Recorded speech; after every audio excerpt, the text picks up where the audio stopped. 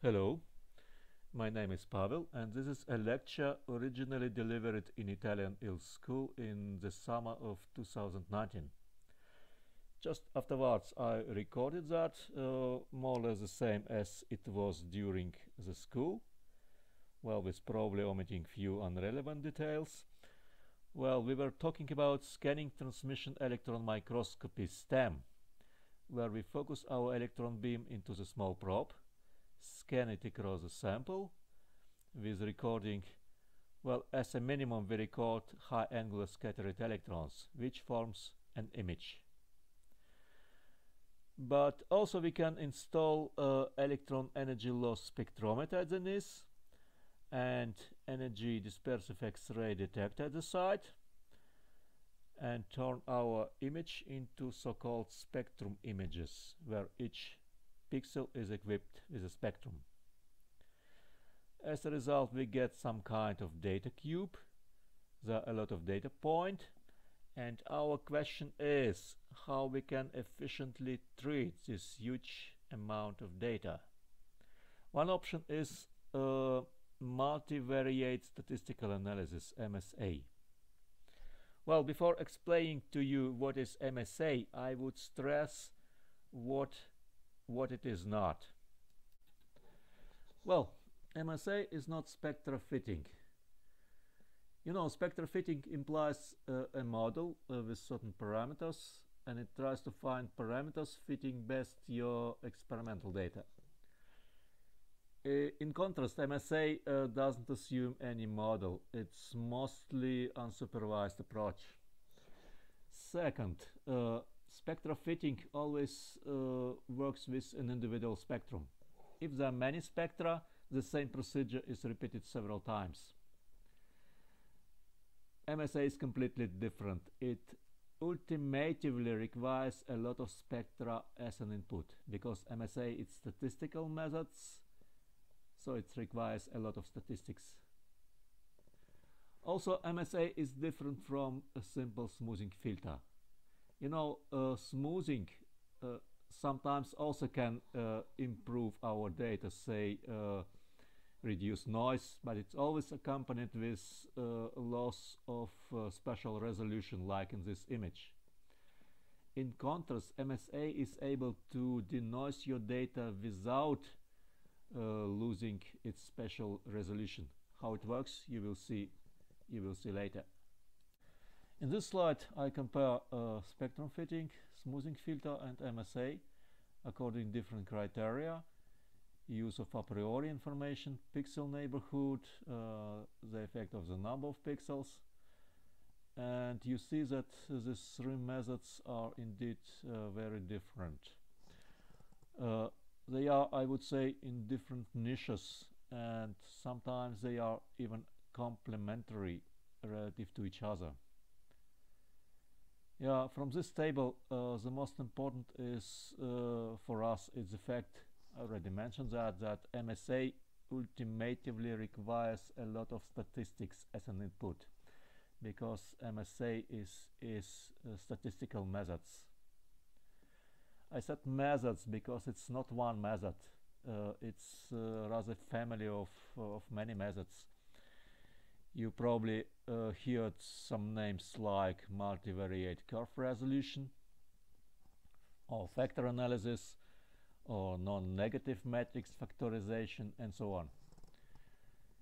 Yeah, when I first started to learn this area I felt a little bit uh, frustrated. So many methods, they are so abstract, complicated, uh, yeah, but no panic. They are of course very different methods, but all of them are based at the same idea, and that is dimensionality reduction. That's quite important. I heard that in the Volt literature, for instance, uh, there are only three topics, essentially three topics, love, death and travel and all great novelists uh, they didn't invent a new topic but just explored one of the one of the three old topics Similarly, in data treatment, there are only few basic ideas, and one of them is exactly this dimensionality reduction. So that's why I strongly recommend you try to pick up the essence of this idea and then probably one day you apply it in some unexpected area and become famous. So what is this idea dimensionality reduction? Consider this on example of principal component analysis PCA. Imagine some gas chamber where an unknown gas is injected and we have two detectors. One is measuring hydrogen atoms and another is measuring oxygen atoms and both registrations are quite dirty. As a result, our measurements look uh, rather noisy. Let's try to improve that. Let's plot uh, a joint distribution of both detectors like that. Here hydrogen clicks, here oxygen clicks and points are joint events. Note that time is excluded from that plot, only hydrogen and oxygen coordinates. Let's call such space vector space. And immediately we see that uh, there is a special direction here. Directions where counts from oxygen and, ox and uh, hydrogen consolidate. Yeah, PCA uh, finds such special directions, let's call it eigenvector. PCA finds that with the criterion of maximum data variance. Here it varies a lot, in other directions not so much. Okay, here we find our eigenvector. Note that uh, this eigenvector is uh, twice more inclina inclinated to the hydrogen x than to oxygen x. Is it possible that uh, in reality there are no individual oxygen or hydrogen atoms but rather a water molecule? Maybe, because we see in joint clicks some clear correlation and any correlation must have an underlying reason. Then we rotate our axis such as uh, the eigenvector becomes a new basis vector like that. We have new two new axes, let's call them component, component 1 and component 2. First component is probably related to water molecule and the second component is of unknown meaning. Probably just noise. Okay, let's assume that the second component is unimportant and we project all data to the first component like that. So if we were right, if the second component is just noise, it means that with this operation we removed significant portion of noise from our data. And if we plot it back against against time, the data would appear greatly denoised. You see. Uh, we can also rotate back and cast it in the original coordinates, oxygen and hydrogen. Still it will be denoised comparing to, to, to, to the original untreated set. Well, I would like to stress we didn't assume the existence of water molecule. The method is unsupervised. The water molecule appears rather as an output. You might conclude something about the water molecule or might avoid any conclusions if your target is simply denoising the data. Is that clear? Let's make case a bit more complicated. Let's add the third detector measuring nitrogen atoms. And now our vector space is three-dimensional. Secretly, I would tell you that uh, there are not only water molecules injected, but also ammonia molecules coming into the chamber. So that's why nitrogen detector is needed. But we proceed exactly the same way we first identify the direction of the maximal variance of data, then the direction of the second significant variance of data, and that would be our first and second principal components. Let's rotate uh, coordinate axis at and look at the plane formed by first and second component here. Interesting is that right now the directions of our principal components do not coincide with the directions of propagation of water and ammonia molecules, but rather represent their linear combination. But you will see that for uh, denoising, for denoising purpose, it doesn't matter. We look now at the plane H on, like that, and we see clearly that the third component is nothing but noise, and we, we, can, we can safely remove that. It means that we removed the significant portion of noise from our data. I hope you already got an idea. So we identify some important directions in the vector space and illuminate all unimportant dimensions. Say we project our hypercube to hyperplane of lower dimensionality. And my example was, of course, uh, very simplified. In reality, STEM-EELS data typically consists of several thousand energy channels. And with clever algorithms, we can reduce that to just few, few principal components. That means great, huge, huge compression and great, great denoising. What about algorithms? There is a variety of different algorithms. They differ uh, by, for instance, criteria how you find a special direction. PCA use uh, the criterion of the highest data variance because data should vary somehow in, in the important direction. There is also independent component analysis, ICA, and in contrast to PCA, ICA assumes that uh, data distribution should differ maximally from Gaussian distribution in the important direction because you know uh, Gaussian distribution is a strong indication for noise behavior and everything what is far from that might be assumed to, to, to be important. Okay, such a way we extract the first special direction, first component, but one component is not enough we need more components and we find another special directions with exactly same criteria but now with constraints. M namely the second special direction should be perpendicular to the first one. Okay then you probably want to find the third special direction. It should be perpendicular to both uh, first and second one and so on. Extract as many special directions as you want, as many special, uh, as many components as you want. What is the difference between principal component analysis and multivariate curve resolution? Largely in definitions, if we don't go into details. PCA operates uh, with uh, the directions in the vector space, while MCR goes data in terms of uh, points in the vector space. And these points called sometimes pure spectra or end members.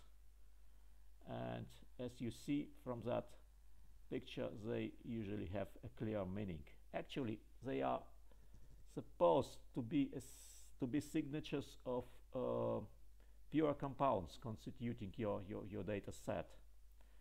Well, still, any given point in the vector space can be equally built from uh, the PCA basis vectors or uh, as a linear combination of uh, MCR uh, pure spectra.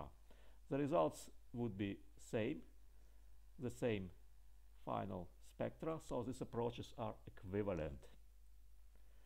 Okay, as a first look, uh, the language of multivariate curve resolution uh, sounds more clear because meaning of the n spectra is clear. But I should say that uh, conceptually PCA is simpler and the algorithms for PCA are better developed Thus, uh, the multivariate curve resolution methods often use uh, PCA as a first step and then build something more sophisticated on top of PCA. Uh, such strategy uh, is used, for instance, in the well-known software packages by team of Paul Kotula or by Dobigeon. Well, PCA is useful, but PCA is not a magic stick. There are certain limitations. It's quite easy to find the preferential direction in the factor space in that situation, when data vary a lot, but you might guess it's quite difficult if the meaningful data variation actually approaches the variation of uh, natural noise, like here. Well, such limitations were quantified by Boaz Nadler, and here I show you a short resume of his theory. He concluded that uh, the PCA component can be reliably extracted only if uh, the signal to noise ratio uh, exceeds a certain threshold.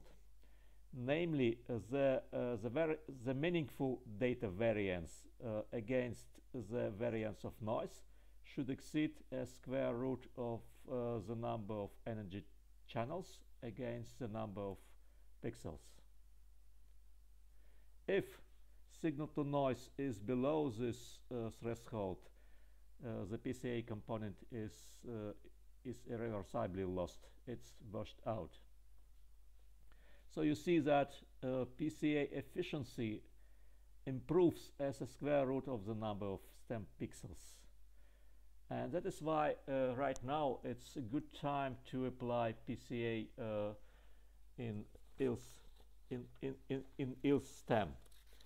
20 years ago, uh, our typical spectrum image was uh, something like 10 by 10 pixels, say 100 spectra, and that was insufficient. Right now, thanks to the hardware suppliers, we easily get many thousands of spectra and in this new reality uh, PCA can help a lot. Okay, now let's describe PCA in a little bit more formal terms. Uh, mathematically, PCA deals with uh, matrices, so we have first to rearrange our data into the matrix form. Uh, a matrix like that, uh, where uh, spectra are placed on rows, and each row represents an individual pixel an individual stem probe. Uh, originally, these pixels can be arranged differently. 3D, 2D, 4D, uh, doesn't matter. We can always recast it into 1D train because uh, for PCA, the actual neighborhood of pixels is unimportant. Just remember the correspondence between the uh, row index and uh, the position of these pixels in the original data format. Okay, as soon as we have a data matrix, we assume that there is a certain correlation among spectra in it, and we want to find this correlation. We build the covariance matrix, uh, we rotate to make it diagonal, and this way uh, we make all all correlations clear. This is actually a well-known uh, singular value decomposition SVD. Okay, as soon as we found the SVD basis, we can easily recast our data matrix in terms of eigenspectra and the contributions. Another name for eigenspectra is loadings, and for contributions another name is scores. So in fact we uh, represented our matrix now as a multiplication of two matrices loadings matrix and score matrix. Well actually we have performed already the principal component decomposition. Each eigenspectrum and its contribution forms a so-called principal component. It's also quite important to sort principal component in this matrix according some principle. Uh, in PCA, uh, we uh, sort them according the data variance in scores.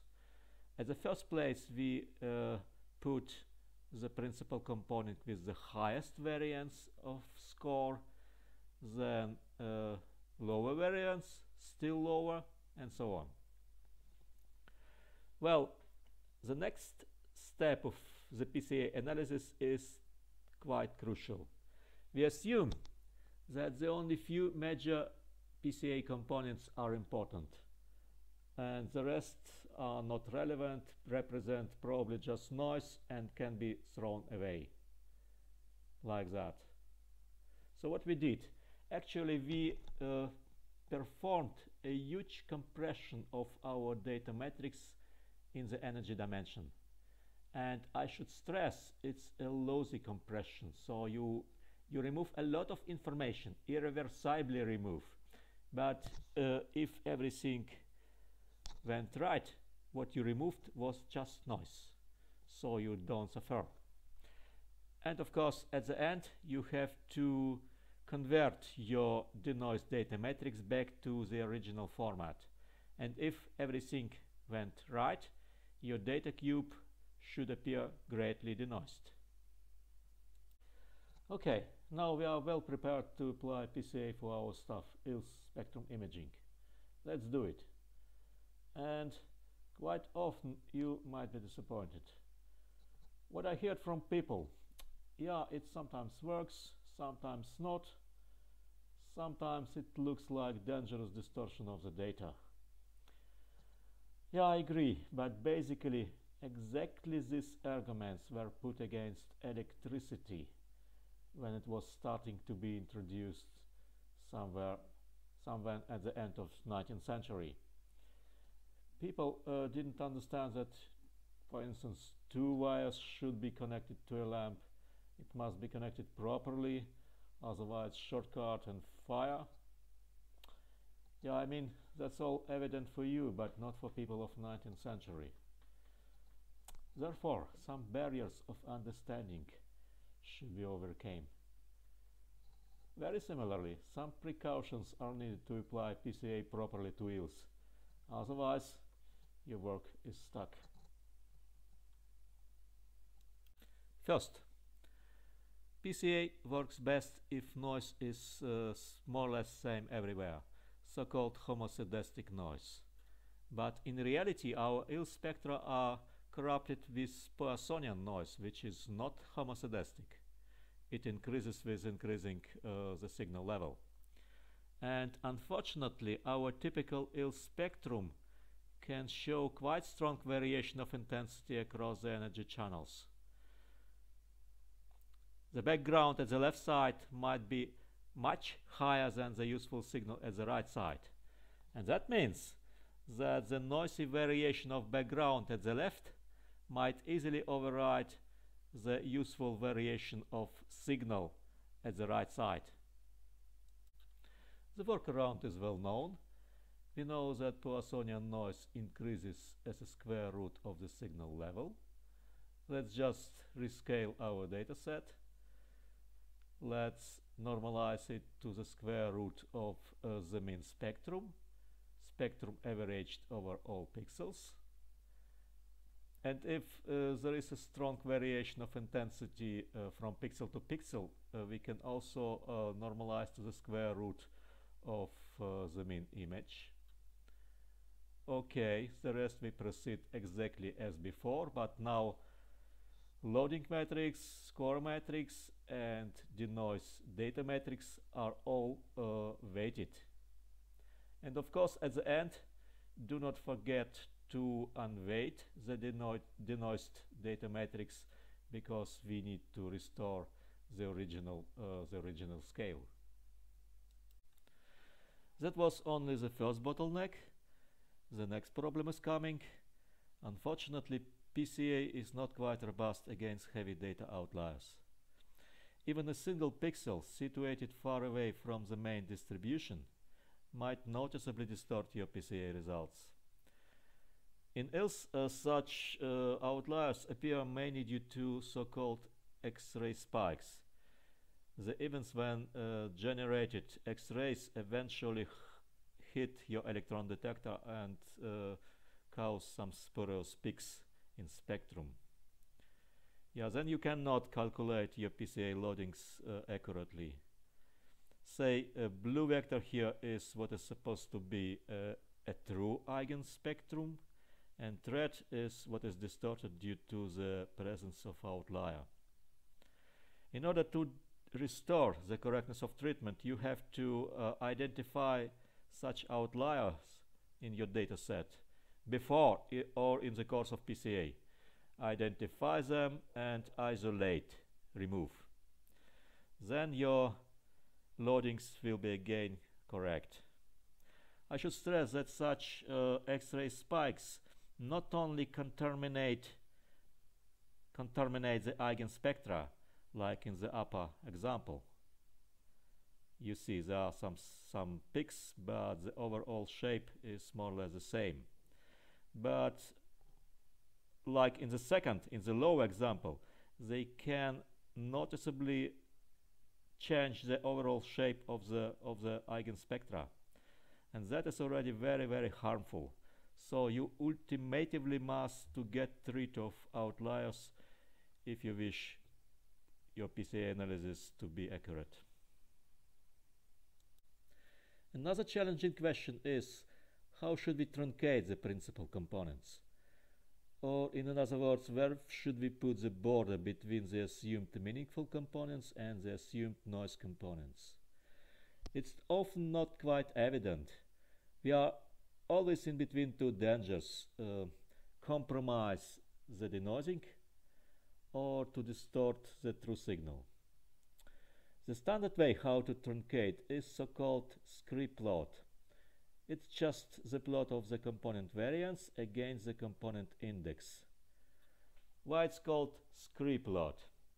You know, in mountains, we, we have rocks and we have plateaus, and there are also some transient regions where we find small stones called scree. And when we step on such stones, such scree, we know we should take care because a rock is nearby. Similarly, in PCA, we just visually determined point which looks like a scree and we put there our threshold. And this strategy works more or less, but it always a bit subjective yeah, it's always plus minus, and due to such subjectivity, it's quite difficult to incorporate such strategy into the automatic algorithms. Recently, we suggested an alternative way. Let's look at a so-called scatter plot. That is just 2D slice of the data distribution in the vector space. Remember, we analyzed such slices when dealing with gas molecules at the beginning of our lecture. Okay, now let's plot uh, the scatter plots of the consequent couples of PCA components. Plot of first components against second, second against third, third against fourth, and so on. You see that initially the scatter plots can look very anisotropic, but at a certain moment they become round, more or less isotropic. And that is because both constituting components now represent noise. And noise, you know, is isotropic in all directions. We can also quantify the anisotropy of the scatter plot and draw it as a function of the component index. And now the threshold is very, very evident.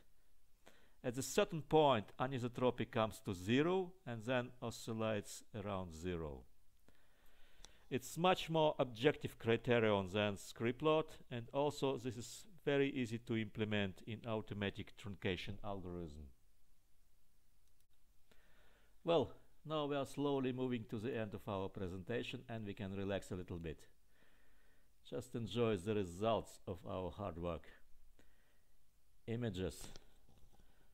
Looking at images is more fun than struggling with abstract diagrams, isn't it? Okay, here is an example of EELS spectrum image of a semiconductor device. we extract elemental maps and we compare uh, elemental maps before and after PCA.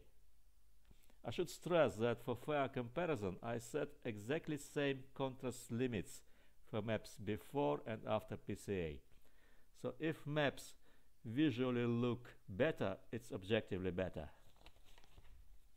So what we see, if the signal was strong from the beginning, like titanium, oxygen, nitrogen, it is not changed much after PCA.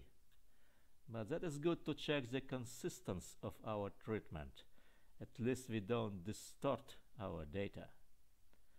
If the signal was weak, like in the case of silicon, K-edge, tantalum, aluminum, PCA can noticeably improve that. Another semiconductor device, the same effect of PCA. In this case, the silicon signal is quite strong because I use the L-edge, not K-edge. So silicon is not improved much, but the weaker signal are really denoised. And our main target in that case was minor boron content, which is almost unseen before PCA, but well visible after PCA. The same gate, but zoomed, and you start to see at the bottom of gate a thin hafnium oxide layer. And again, to see it clearly, you do need PCA. That is also true for the other elements. Well, these maps are good illustration of the fact that PCA denoising does not degrade spatial resolution. So you see spatial resolution is still quite, quite high. Example from another area, the perovskite layered structure. And as usual, PCA doesn't change much the appearance of strong signals, but it denoises noticeably the weak signals. Look at oxygen. It's great, denoising. And finally some atomic resolution example. Again perovskite structure. Before PCA I could not resolve the kappa lattice, but it shows up very clearly after PCA and even I see something for, for the oxygen lattice. At that point I finish. My conclusions are MSA and particularly PCA are very useful for treatment of modern STEM EELS data, but you need some basic understanding of how it works and you need some tips how to avoid the typical issues. Well, I acknowledge all people who helped me and also the financial support from European and German funds. The basic version of the plugin you can download free at that site. Thank you.